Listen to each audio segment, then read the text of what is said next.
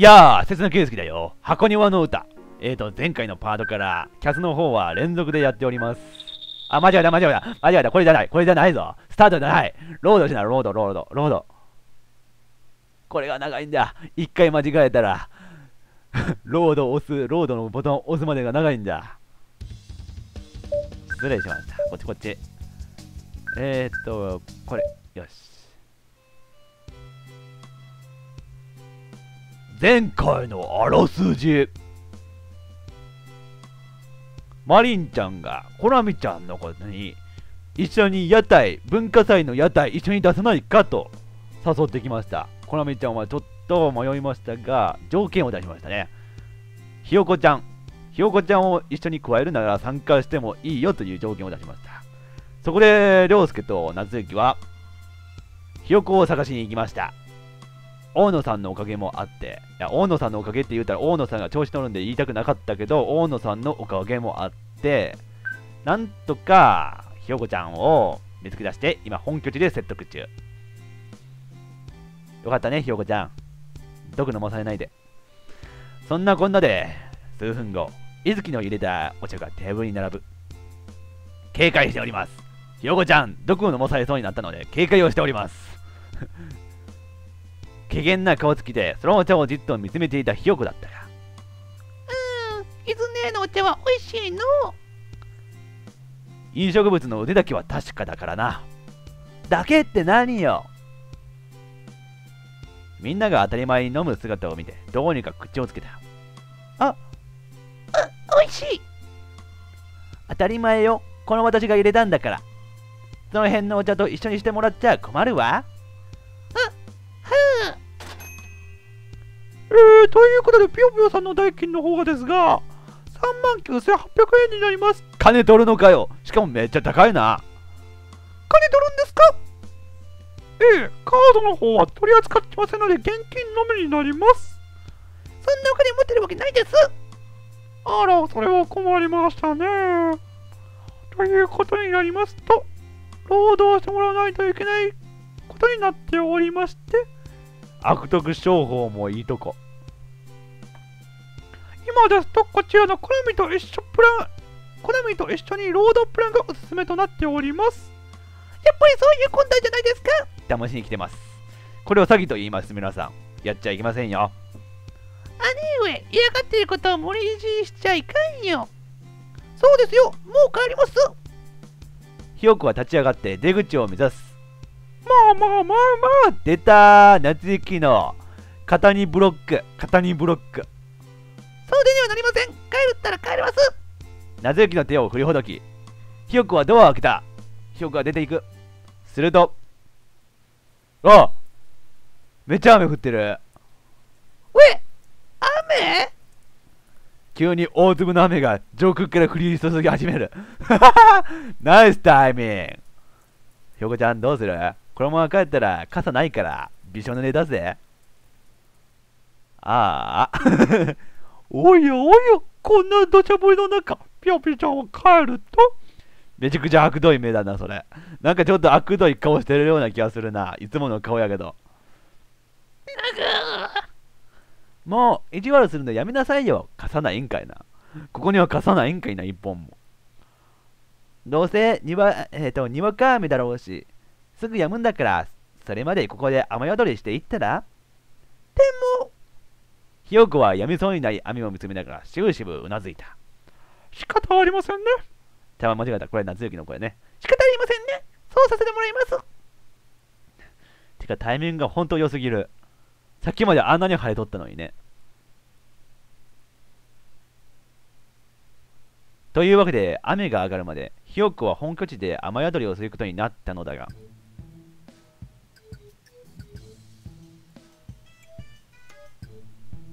もうちょっとリラックスしたら、何その顔は。警戒してるんです。わかりませんかただでさえ敵の小鳥がいるっていうのに、あの変な女、女男までひよっこを狙うします。おや、この空間はひよっこにとって、魔球以外の何者でもありません。そうかもしれないな。リラックスなくできるはずもないです。ああ、そう。ひよことそんなことを話していると、伊豆木はバッと立ち上がった。よし、やっと全員揃ったんだから最多最の話し合いしましょう。ちょっと待てよ。ライバルグループの10のピヨピヨがいるってのに話をするのか？もうライバルグループっていう認識までされてるよピヨピヨ。ピヨピヨ。これはちょっと参加しないとまずい展開だよピヨピヨ。勝手に収録しないでください。やるなんて言ってません。歩は一人で何をやってるの？夏夏休みの宿題だ？あいつらがあの小学生に夢中の間に俺はこっそりと夏休みの宿題を続ける。俺はやれる時にやる男だ。ふーん。歩夢の出番多分今回これだけやけんね。皆さん歩夢って最近出番少ないよ。っていうか細かいことは全部ゆずきたちが決めてくればいいって。俺はそれにしてかしいそんなことを言って後から一番文句言うのはあんたじゃないのよ。そんなことしねえよ。いるよねこういう。何でもいい何でもいいって言うてみんなに任せるつもりみんなに決めさせるのにさ後からめっちゃ文句言うやついますよね一人は。クラスに一人は。じゃあもし一人一言でも文句言ったら内臓を浮い飛ばすからね。伊月の伊月の約束伊月のなんか約束守りましょうのやつが。なんかすごい香港マフィアみたいなこと言い出した相変わらずペナルティが重いな。ま、そういうことなら私の方で決め進めさせてもらうわ。何ができることがあったら言ってくれればやるからの。ありがとう、コナミ。斉田さんの話し合いは本当にこれでいいのかわからないが、終わりになってしまう。大丈夫なんですか？こんなにアバウトで。まあ、いつもこんな感じだし、うーん。話し合いが終わりになったため、みんなそれぞれ好きに行動し始めた。早かった。決まるのは早かった。あんだけ始まるまでがめちゃくちゃ時間かかったのに決まるのは早かった。りょうすけ。え？ギター弾かないの？ああ、そういえば最近弾いてなかったな。ギター弾けるんですか？弾けるってほどじゃないけど、初心者だし。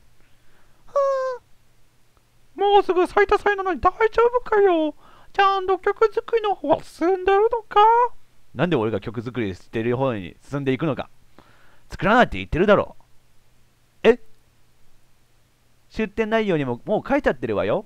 あの有名ギタリスト涼介氏による ギターパフォーマンスってまあ。お前俺のことをどんだけハードル上げれば気が済むんだ？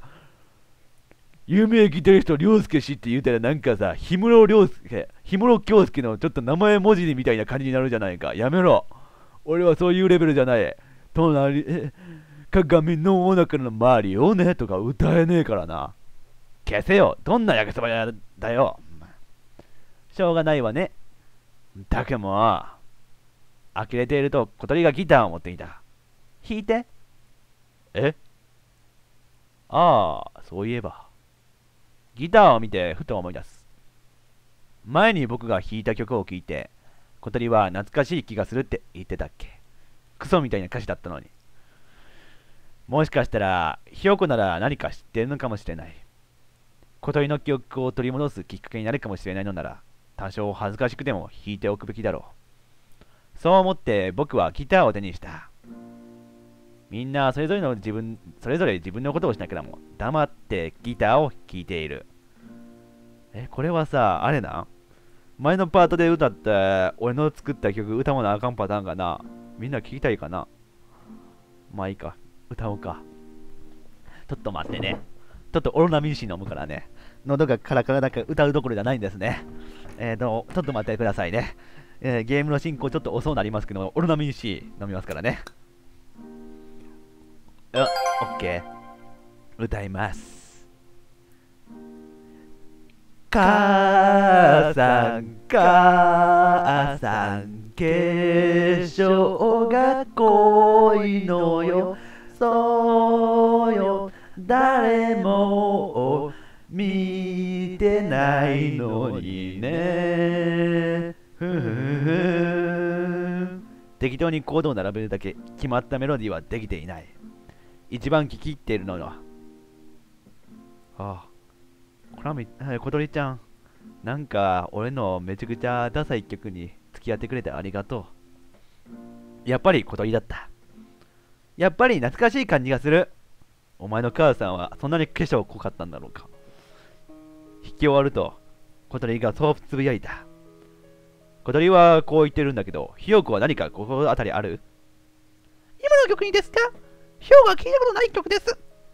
まあ、そりゃそうだよね。適当に弾いてるだけの曲だから知っているわけがない。何か他の曲と混同しているのかもしれないな。似たような曲も多そうだしの。聞いたことはないんですけど、少し引っかかるものはあります。え？なんていうか、説明してがしがたいですけど、顎に手を当てて思考を巡らすひよこ。えー、っと、そして、いい説明を思いついたのか、パッと顔を上げた。そう、なんか嫌な感じです。嫌な感じ。滅びの歌的な？え？俺の歌をそんな嫌だった？ごめんな。それって、下手くそって言いたいのよね？いずき、お前、何ド直球にディスりに来たんだ、お前は。あ違います、違います。確かに下手くそかもしれないですけど、そうじゃなくって、否定しろよ。ちょっと否定しろよ。ほら、りょうすけ、落ち込んでるよ。重くて暗いイメージがあるんです。明るい曲調なのね。はいよくわかりませんが、小鳥さんもそうなの？ううん、私はそういう感じじゃない。ただ、懐かしいだけ。結局何もわからず、小鳥も何も思い出す気配はなかった。なんか二人で全然イメージ違う捉え方したんじゃん。なんかあるんかな？あ、喉が痛い。やばい、喉が痛くなってきました。曲の話が終わると、みんなまたバラバラにはじめ遊び始める。さて、誰に話しかけようか？わあなんか選択肢できました。どうしよう。皆さんどうする？え夏雪と歩に話しかける。小鳥と伊月に話しかける。コラミ、ひよこに話しかける。はあ、これ気になるな。これセーブしとこう。多分全部は見んと思うけど、全部は見んと思うけど、後で俺一人で楽しむ。視聴者さんにも悪いけど、俺一人で楽しむ、これ、裏で。ちょっとオフの時に一人で楽しむわ、これ。ごめんな。実況でやるかわからない。えーと、どれにします、視聴者さん。この2つの選択肢。俺はちょっと小鳥と伊月。てか、小鳥と話したいんだ、僕は。俺、小鳥ちゃんと話したいんだ。最近なんか、小鳥ちゃんとあんま話せてないような気がするから。ちょっと俺、今、懐かしいって言われて、めちゃくちゃ好印象を受け取るような気がするけん、ちょっと今のうちに小鳥ちゃんと距離を縮めたい。そういう気がします。視聴者さん、どうします？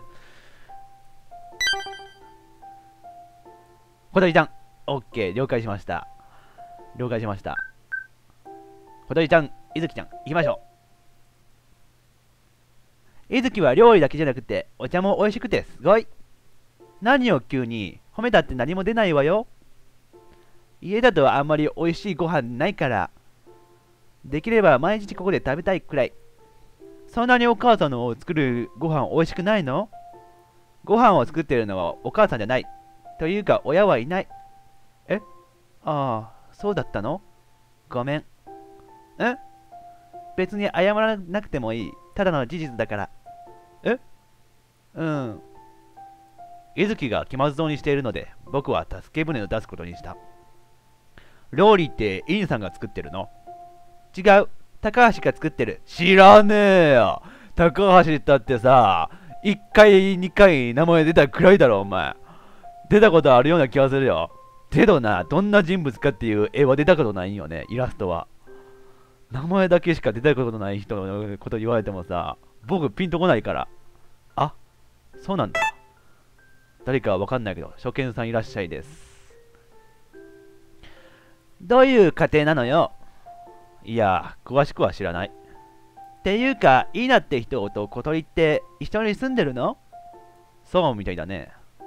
本当は知っているが、ここは適当に笑ってごまかすしかない。エリナも時々ご飯作るけど、あれはご飯と言わない。あれは料理じゃなくて儀式。なれどういうことよ初めての例え方したな、お前。料理じゃなくて儀式ってなんなん？なんかこれからムエタイの大会、ムエタイの試合でもあるん？え？見てみたいな。その、イーナさんが料理じゃなくて、いい、えーと、儀式やいいよところ。え？だって、色がおかしい。色は、もう色合いがおかしいんじゃん。もう芸術的にもおかしいんだ。芸術センスなしなんやな。あれは魔王を召喚するための黒魔術魔術だって王野も言っていた。めちゃくちゃ黒にこだわるんだろうか。な、どんな料理作りよったんだ。逆に見てみたいな。そう、そうなんだ。だって、小鳥ちゃん、小鳥ちゃんがこんな顔するってさ、この小鳥ちゃんは可愛くない。こんな顔の小鳥ちゃんは可愛くない。何か大変そうね。あ、だったら小鳥が作ればいいじゃない。え？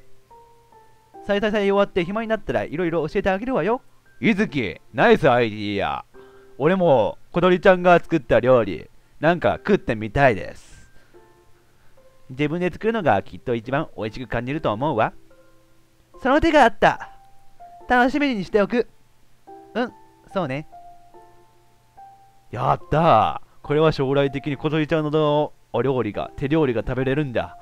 やったぜ雨が上がり、えっ、ー、と、なんて読むこれ。雲の間、なんて読む黒、黒魔かな？黒魔から太陽が顔を出す。今まで黙っていたセミたちも本領発揮本領発揮し始めた。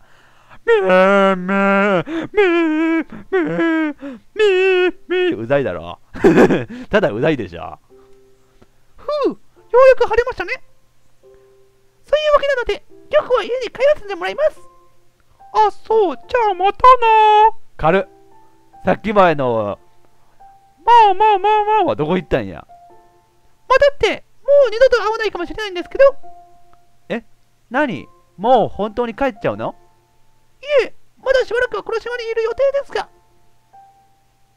なんだ、じゃあ会わないってことはネードルの小さい島なんだし。そうね。そ、それはそうかもしれませんが、もうみんなから、ひよこちゃんは友達扱い。よかったね。と、とにかく今日は帰ります。それじゃあ、そう言って勢いよく出て行ったのはいいものの。すいません。道がわからないので送ってください、りょうすけさん。なんか可愛いな。なんかこう見よったら可愛いな。ひよこちゃん可愛いな。という理由ですぐに戻ってきた。なんで僕まあ、いいか。りょうすけさんの友達は変な人ばかりですね。送る道すがら、よこがそんなことを言い出す。まあ、否定しない。まあね。でも、なんとなく楽しそうで、裏山。裏山裏山ち、違います。う、羨ましいなんて言おうと思ってません。言っちゃってるじゃん。ひよこちゃん本音だね。思ってないですよ。どこか寂しげな顔で、ひよこはそうつぶやいた。小鳥も楽しそうで、ちょっと意外でした。え？やっぱりあの小鳥は、ひよこの知ってることでは違います。ひよこの知ってる小鳥は、もっと火のえ普通の人で、でも誰よりも、いろんなことを諦めちゃっているような、そんな顔をしてました。すごい声でしょ、これ。もうなんで、ひよこちゃんと、あのー、小鳥ちゃんと、小鳥ちゃんじゃないわ、コナミちゃんと、夏雪の3人はね、めちゃくちゃすごい声にしてますんで、そこはちょっとこの箱庭の歌の実況のちょっと注目点の一つだと思ってほしいところです。笑うことはあったけど、今日みたいに楽しそうに笑う感じじゃありませんでした。ポーカーフェイスなんかな今日の小鳥を見ていると、小鳥は記憶をなくしてよかったんじゃないかなって、そんな風にすら思ってしまうくらいです。そんなにあんま友達作るとかそういうタイプじゃないとは思っとったけど、それ以上だ。そうなんだ。小鳥の記憶喪失について、僕はあれこれ言える立場ではない。だから、寂しそうにしているひよこに、かける言葉なはなかなか見つけられなかった。だけど、この島にいる間、もしひよこがそうしたかったらでいいけど、本拠地においでよ。声を変えてるところがハム太郎の公式みたいですね。マジで。ハム太郎さん、ハム太郎さん。え？公式くんってこんな感じなんだっけ？ハム太郎さなんで有名なやつだったっけ？公式くんって。まあいいや。普段は辛くて寂しい、寂しいばっかりかもしれない。だからさ、ここにいる間だけでも、ひよこや小鳥には、楽しいって思えることをいっぱいしてほしいんだ。自分の思っていることは口にできる。負けもない本心だ。しばらく黙っていたひよこは、やめてくださいよ。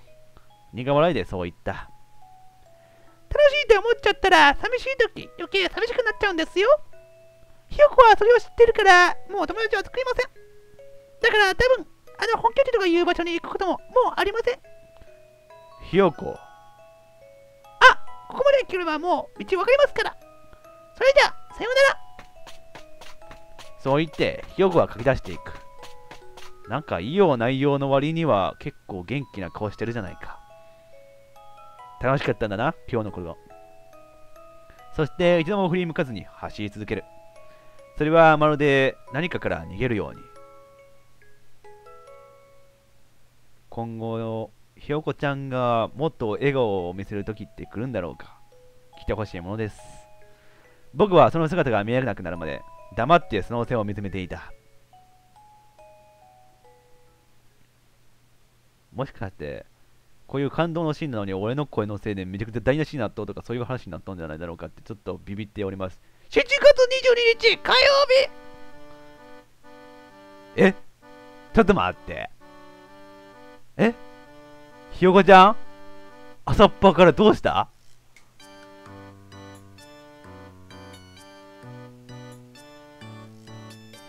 そりゃそう、えってなるよ。そりゃ、そりゃ、えってなるわ。今日も昼食を済ませて本拠地にやってきたのだが、昼の話なんやな。何ですかその目は何か、なぜか、当たり前のように居座るひよこの姿があった。えなんでいるの？昨日の別れ際の、もう二度と来ないみたいなことを言っていたはずだが。来たくて来たわけじゃありませんから誤解しないでくださいえ？任務です小鳥を監視するという大事なあっそう。小鳥と一緒におれるなら、小鳥と一緒におって監視とけって言われたんだ。上からの命令か。くそ。小鳥ちゃんのことを道具みたいに扱いやがって。しかしながら、本拠地内の小鳥の姿はない。ああ、小鳥なら今日は来られないって連絡あったわよ。え？そうなの？本人からメールが来たからね。え？本人から？え、イーナさんじゃなくて？何お前ら勝手に、勝手にっつうか、メアド交換しとんねん。俺でも、俺も小鳥ちゃんのメアド欲しいんやけど、お前。え？いつの間にお前。水木が得意気に携帯を見せつけてくる。自慢しに来てんじゃねえよ、お前。羨ましいよ。羨ましすぎるよ。いつアドレス交換したの？昨日、あんたがその子を送ってる時よ。嘘だろ。嘘だろ。小鳥ちゃん、俺とも交換してくれよ。ふーん。おっと、虫の悪そうな顔していますわね、洋介さん。それを言うなら、虫の居所が悪いだぞ。うるさいわね。歩夢も黙ってて。すぐそうやって頭いいアピールして。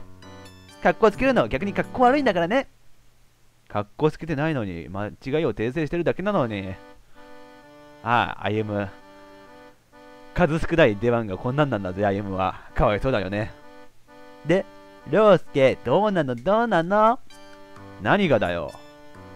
私に小鳥のアドレス先に、アドレス先に聞かれちゃって、どんな気分？ねえ、どんな気分？うっぜえ。べ、別になんとも思ってないし。へーん、何そのドヤ顔。その憎たらしい顔やめろよな。まあ、悔しいからってそんな悪態ついて。そんなやりとりをしていると、東堂兄弟も到着する。よっしゃ、時間もこの辺で終わりとさせていただきましょう。ロー、ロードじゃないな。セーブセーブ。こっちこっち。よし。さて、まあ、ひよこちゃんやって、ここ中じゃあ楽しみたいっていうか、みんなと一緒にいたいって思っとるかもしれません。今後ちょっと RCH の関係が良くなって、みんながみんな笑って過ごせるような日々が来るといいと思っております。箱庭の歌、まだまだ続きます。というわけで、まあ、今回のパートで、初見さんがなん結構いらしたんですけど、ちょっとこれまでの話も気になるって方は、俺の YouTube のアカウントの方まで飛んでください。えーと、パート1からパート27までアップしたんか、今。これ29で28が前回の枠というわけですね。というわけで、まあ、そっちのこともよろしくお願いします。というわけで、今回はこの辺でご視聴ありがとうございました。週上げ。さすがに2連ちゃんは喉がやばい。